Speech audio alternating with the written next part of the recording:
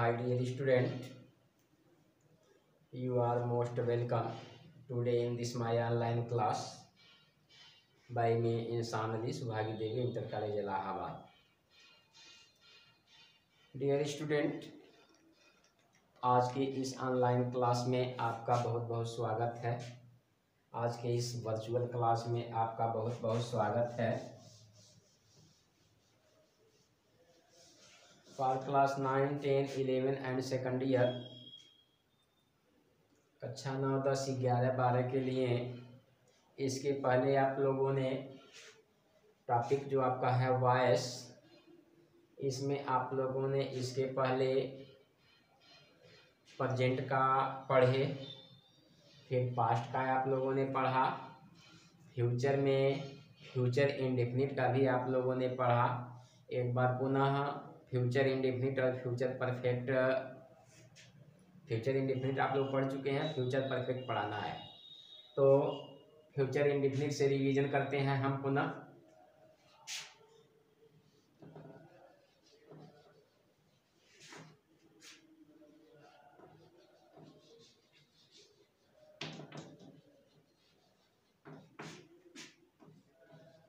Future indefinite tense tense में इसके पहले आप लोगों को पूरा टेंस पढ़ाया जा चुका है। उसे आपको कंठस्थ रखना ही रखना है, क्योंकि आगे हर जगह उसी का समावेश है, उसी को पढ़ना है। तो एक्टिव वायस आप लोग पढ़ चुके हैं। पैसिव वायस में फ्यूचर इंडेफिनिट का स्ट्रक्चर देखिए।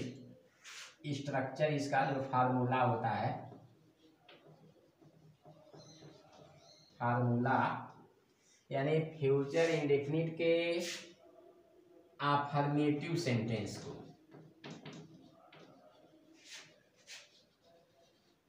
अफर्मेटिव सेंटेंस को बनाने का फार्मूला देखिए कैसे बनाया जाता है।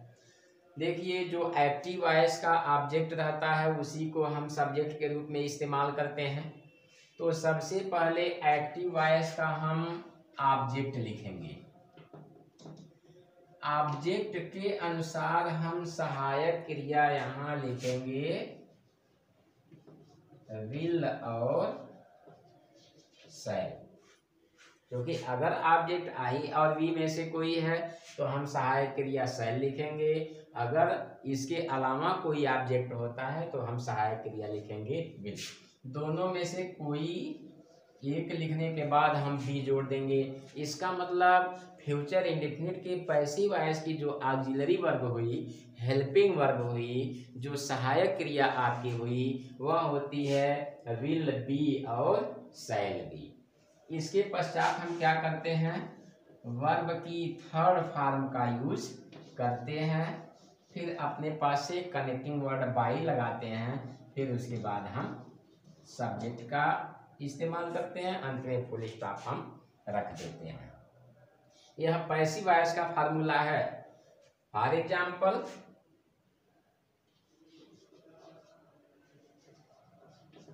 she will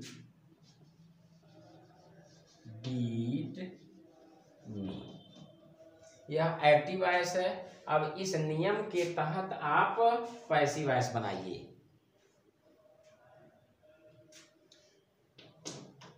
ऑब्जेक्ट यही है आपका। तो मी का कन्वर्जेशन होता है तो हो जाता है आई। अब आई के अनुसार सहायक क्रिया रहेगी सैल, बी, बीट की थर्ड फॉर्म बी टेन बाई सी को हम हर में कन्वर्ट करते हैं। यह कक्षा नौ, दस ग्यारह और बारह। चारों क्लास के लिए इंपॉर्टेंट है। कक्षा नौ दस में चैप्टर नाइन आपका वायस मिलेगा। कक्षा ग्यारह और बारह में आपको ट्रांसलेशन के चैप्टर में यह वायस आपको मिलेगा। इस तरह से आप अफर्मेटिव सेंटेंस बनाए। अब आते हैं निगेटिव में।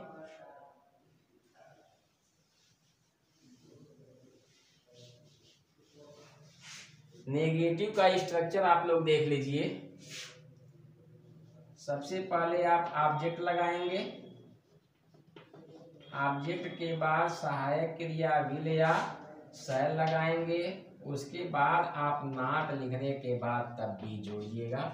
इस तरह से आप निगेटिव बनाएँगे। For example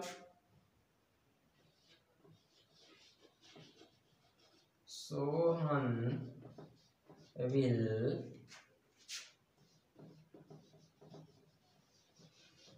punish you अब देखिए ऑब्जेक्ट ऑब्जेक्ट आपका यू है तो यू को सबसे पहले आप यू का कोई कन्वर्जेशन नहीं होता है यू को हम यू ही रखते हैं। You will not be punished by subject आपका सोलह नहीं है। इस तरह से आप फ्यूचर इंडिफिनिट के निगेटिव सेंटेंस को बनाने का काम करेंगे।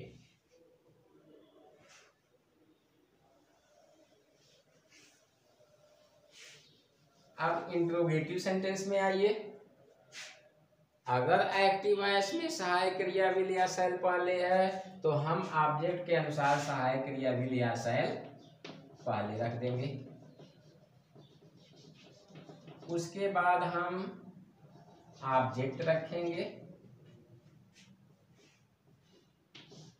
उसके बाद बी रखेंगे, वर्ग की थर्ड फॉर्म बाई सब्जेक्ट अंत में क्वेश्चन मार्क लगा देंगे, अंत में प्रश्नवाचक चिन्ह लगा देंगे। For example shall we.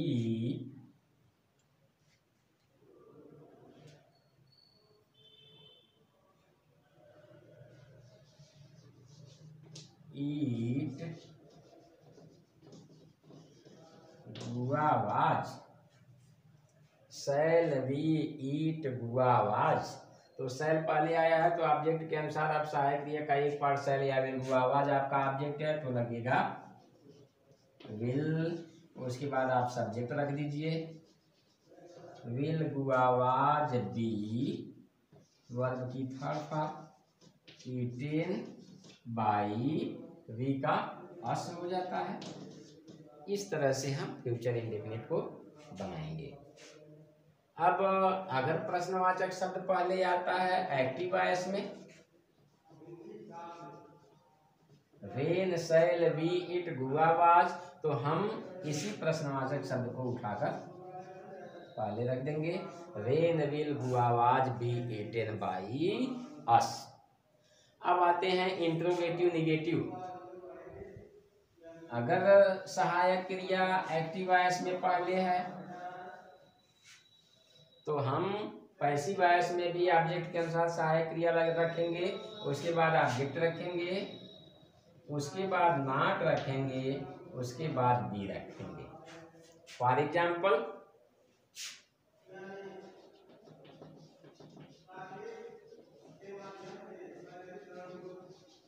will they not take tea सहायक क्रिया पहले है बीच में निगेटिव है तो ऑब्जेक्ट के अनुसार आप सहायक क्रिया का एक पार्ट ऑब्जेक्ट टी है तो सहायक क्रिया will tea not be taken by they into them. In this way we have to solve like this interrogative negative इस तरह से हम ऐसे इंट्रोगेटिव निगेटिव को सॉल्व करेंगे। अगर इसमें प्रश्नवाचक है why will they not take tea तो हम प्रश्नवाचक शब्द को उठा के पाले रख देते हैं। तो इस तरह से हम फ्यूचर इंडेफिनिट के अफर्मेटिव सेंटेंस के एक्टिव वॉइस को पैसिव वॉइस में बनाएँगे। फ्यूचर इंडेफिनिट के निगेटिव सेंटेंस को हम पैसिव वॉइस में बनाएँगे फ्यूचर इंडिफिनिट के इंट्रोगेटिव सेंटेंस के एक्टिव वॉइस को पैसिव वॉइस में बनाएँगे और फ्यूचर इंडिफिनिट के इंट्रोगेटिव निगेटिव के एक्टिव वॉइस को पैसिव वॉइस में बनाने का काम करेंगे। तो इस तरह से यह फ्यूचर इंडिफिनिट बनाएँगे। फ्यूचर कॉन्टिन्यूस का एक्टिव वॉइस से पैसिव वॉइस बनता नहीं है तो उसके बाद हम फ्यूचर परफेक्ट की बारी आती है। आइए फ्यूचर परफेक्ट के विषय में देखा जाए।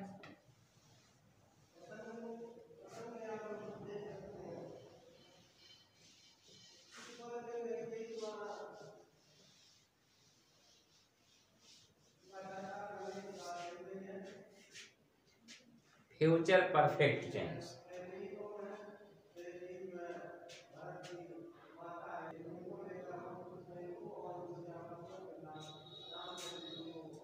future perfect के एक्टिव आयस को पैसिव आयस में बनाने का रूल देखिए। जब फ्यूचर परफेक्ट का टेंस आप लोग पढ़े होंगे एक्टिव आयस में तो वहाँ आपको सहायक क्रिया मिली होगी। विल हैव और सैल है अब फ्यूचर परफेक्ट के पैसिव आयस को बनाने के लिए आपकी सहायक क्रिया होती है। विल हैव बीन और सैल हैव बीन। तो आफर्मेटिव सेंटेंस को बनाने का फार्मूला देखिए। आप एक्टिव वॉइस के ऑब्जेक्ट को पहले उठा के रखेंगे, उसके बाद ऑब्जेक्ट के अनुसार आप लगाएँगे विल और सेल तत्पश्चात आप जोड़ देंगे विल हैव बीन तो इसका मतलब सहायक क्रिया हो गई विल हैव बीन और सेल हैव बीन वर्ब की third form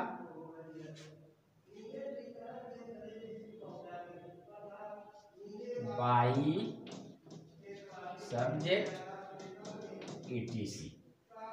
For example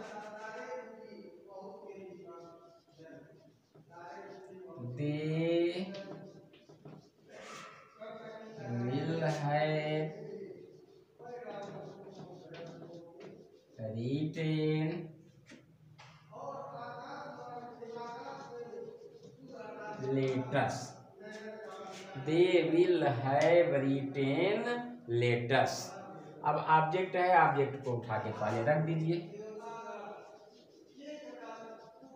Letters will have been written by them इस तरह से आप अफर्मेटिव सेंटेंस बना लिए। अब अगर नेगेटिव सेंटेंस बनाना है तो देखिए एक्टिव वॉइस का स्ट्रक्चर देखिए, कैसे नेगेटिव आता है।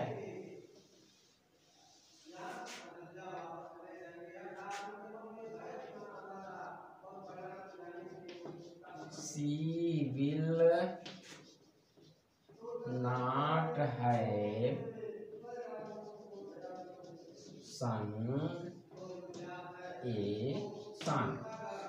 सहायक क्रिया विल के बाद नाट लगाया है। तो आप क्या करेंगे?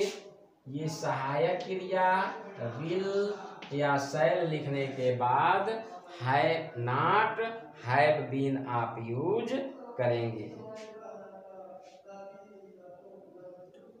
इसका बना लीजिए। ऑब्जेक्ट उठाइए।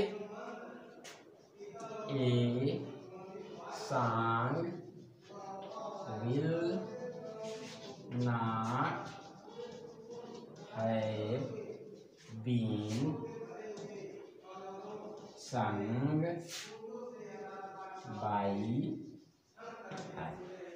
इस तरह से आप निगेटिव बना लेंगे। आइए इंट्रोगेटिव बनाने का नियम।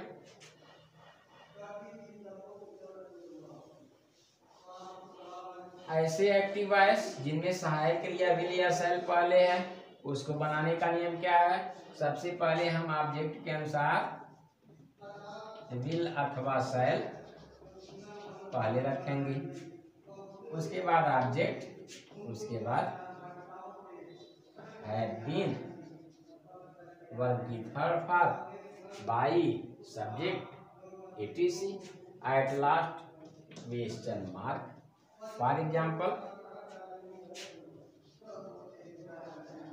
shall I have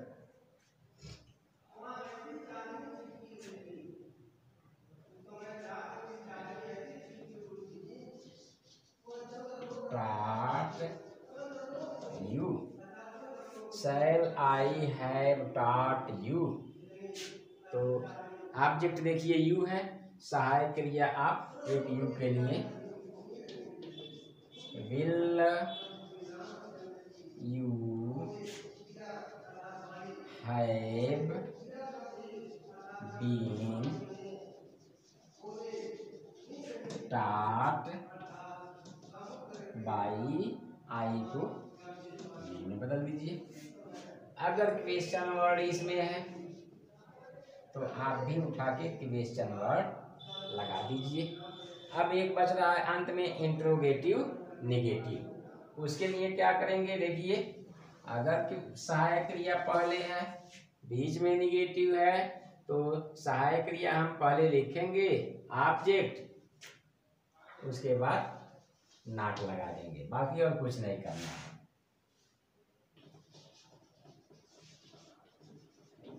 shall we not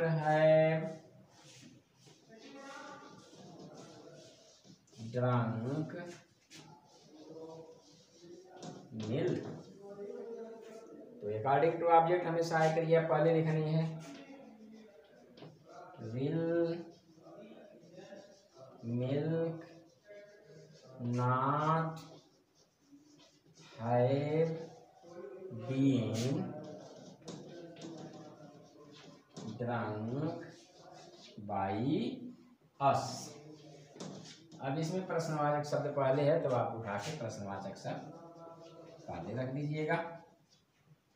तो इस तरह से हम फ्यूचर परफेक्ट टेंस के आफर्मेटिव सेंटेंस एक्टिव वॉइस को पैसिव वॉइस बनाएँगे नेगेटिव सेंटेंस के एक्टिव वॉइस को पैसिव वॉइस बनाएँगे इंट्रोगेटिव सेंटेंस के एक्टिव वॉइस को पैसिव वॉइस बनाएँगे और इंट्रोगेटिव नेगेटिव सेंटेंस के एक्टिव वॉइस को पैसिव वॉइस बनाने का काम करेंगे।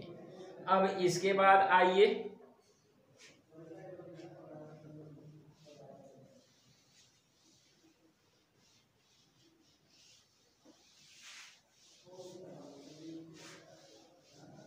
कुछ अन्य जानकारियाँ पैसी वायस से संबंधित।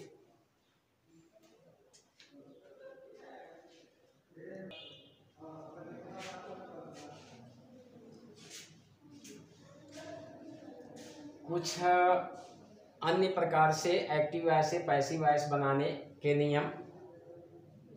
आप लोग सब्जेक्ट और प्रेडिकेट जब पढ़े होंगे तो उसमें आपको दो प्रकार के ऑब्जेक्ट मिले होंगे।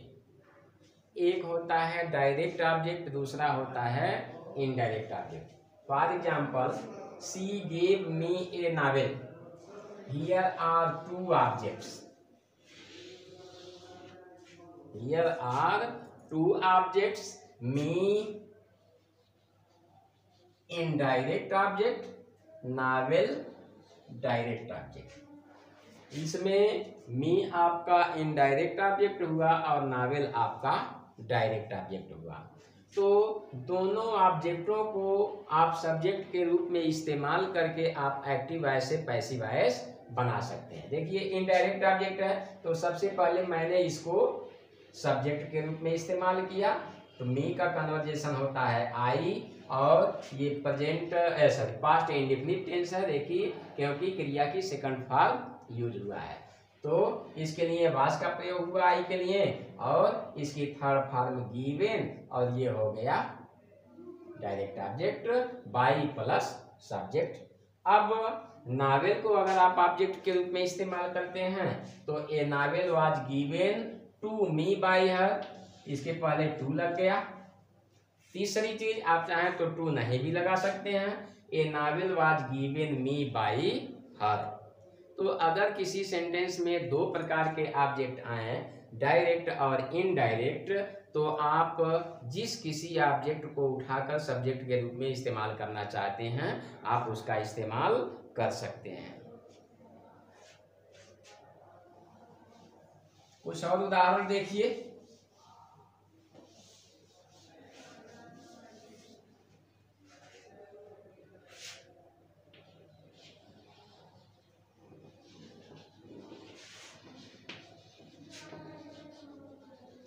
the class teacher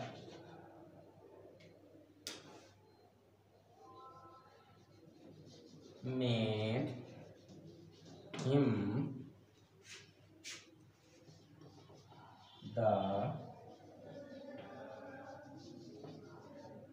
monitor of the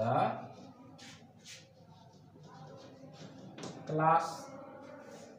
The class teacher made him the monitor of the class. तो हिम यही ऑब्जेक्ट है, उसी को उठा के सब्जेक्ट बना लीजिए। मेड क्रिया की सेकंड फॉर्म इसका मतलब यह पास्ट इंडिफिनिट है तो सहायक क्रिया होगी was. He was made the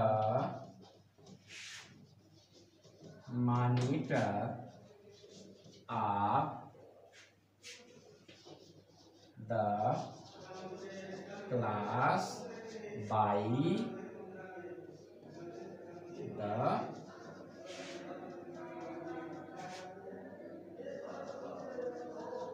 class teacher तो इस तरह से ऐसे सेंटेंसों को आप एक्टिव वॉयस से पैसिव वॉयस बनाने का काम करेंगे। आइए कुछ अलग चीज़ें।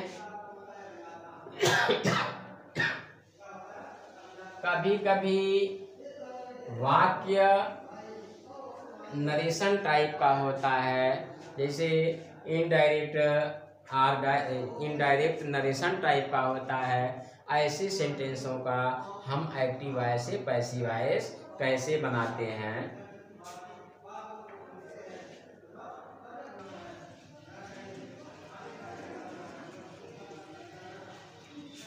प्रायः कुछ ऐसे सेंटेंस आते हैं एक्टिव वॉइस में जिन्हें कहता है पैसिव वॉइस बनाइए। नरेशन टाइप पे आते हैं इनडायरेक्ट नरेशन टाइप पे आते हैं। देखिए आई आस्क राधा एक सेंटेंस है इफ़ सी वाज इल एक सेंटेंस है। तो हम इसका पैसिव वॉइस कैसे बनाएँगे? ध्यान से देखिए। जो हमारा रिपोर्टिंग वर्ग है, हम इसी को चेंज करते हैं, इसे चेंज नहीं करते हैं। अब इसका सब्जेक्ट उठाइए राधा।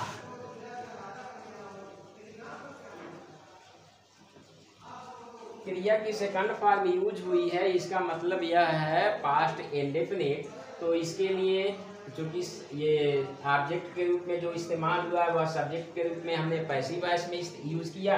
तो राधा सिंगुलर है तो सहायक क्रिया हो जाएगी। Was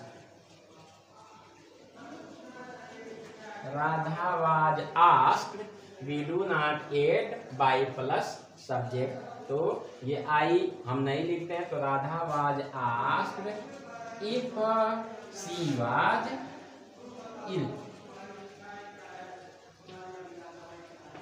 तो प्राय ऐसे सेंटेंस आपको देखने को मिलेंगे। He asked me.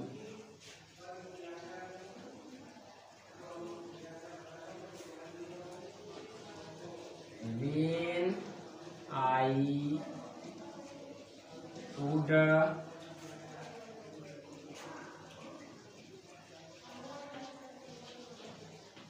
return. एक और सेंटेंस आ गया। He asked me when I would return तो रिपोर्टिंग वर्ब यही है, इसी को हम बदलेंगे मी को बदल देंगे। I was asked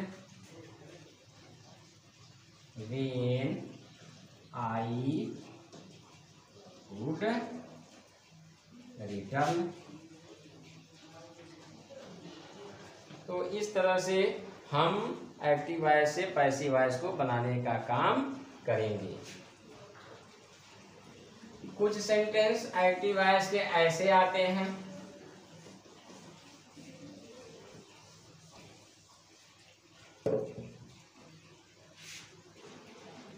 we believe that you are a good boy कभी कभी ऐसे सेंटेंस आते हैं तो जो रिपोर्टेड स्पीच होता है, हम इसमें कोई परिवर्तन नहीं करते हैं। वी बिलीव यही हमारा रिपोर्टिंग वर्ब है, यहाँ कोई ऑब्जेक्ट है नहीं तो हम अपने पास से ऑब्जेक्ट लगाते हैं इट इट इज़ चूँकि यह प्रेजेंट इंडिफिनिट है, देखिए कर्ता बहुवचन है, क्रिया में यस या यस नहीं लगाया है। तो इट इज़ बिलीव का third part it is believed that by us अगर लगाया जाए तो जहाँ तक मेरी, मेरा सोच है, गलत नहीं होगा। लेकिन जब कह रहा है नहीं लगाया जाता है तो हमें नहीं लगाना चाहिए। It is believed that you are a good boy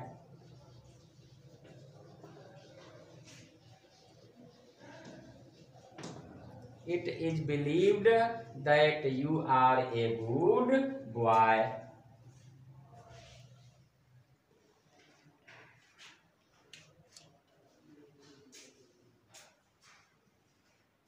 अब आइए कुछ और एक्टिव ऐसे पैसिव वॉइस को देखते हैं। देखिए, उदाहरण के तौर पे। We saw him steel the book अब इधर से हमें कुछ नहीं लेना है, इसी इसी सेंटेंसों को हमें देखना है, इसमें पता लगाना है ऑब्जेक्ट कौन है. तो ऑब्जेक्ट हिम है हिम को हम कन्वर्ट करते हैं।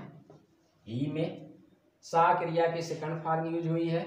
इसका मतलब यह पास्ट इंडिफिनिट है तो सहायक क्रिया हम यहाँ लगाएँगे। सी क्रिया की third form he was seen and after then इसमें हम इंफिनिटिव लगा देते हैं।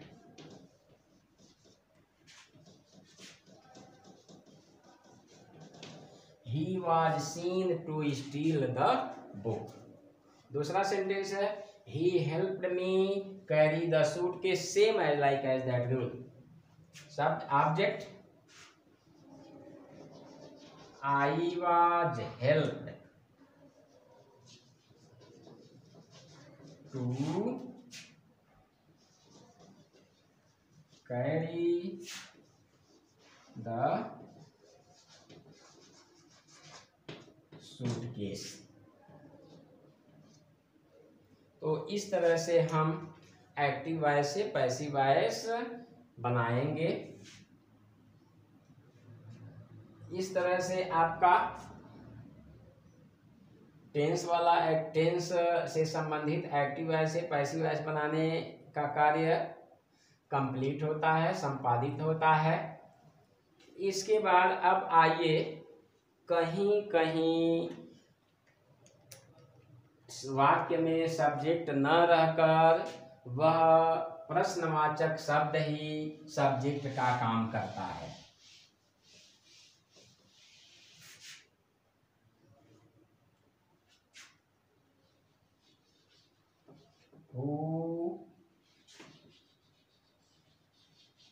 Start you.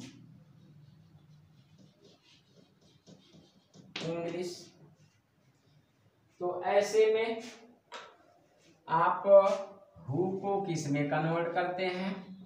दो प्रकार का नियम है बाई हुम अथवा बाई इसका प्रयोग करके हम एक्टिव वॉइस से पैसिव वॉइस बनाने का काम करते हैं।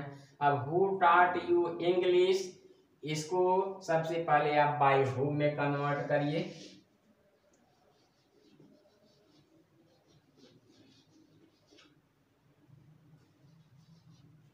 बाय होम उसके बाद आप चलिए सहायक क्रिया। यू है ऑब्जेक्ट तो यहाँ सहायक क्रिया चूँकि यह पास्ट इंडिफिनिट है तो सहायक क्रिया होगी by whom where you start English लेकिन प्रायः अब बाई होम चूँकि नियम में, आपकी किताब में भी दिखा रहा है, आपकी किताब में भी कह रहा है, आप लोग अपने बुक में देखिएगा। अब कह रहा है कि जहाँ हु आए तो बाई हुम के बजाय बाई हु का इस्तेमाल करिए। तो जब बाई हु का इस्तेमाल करेंगे तो by who you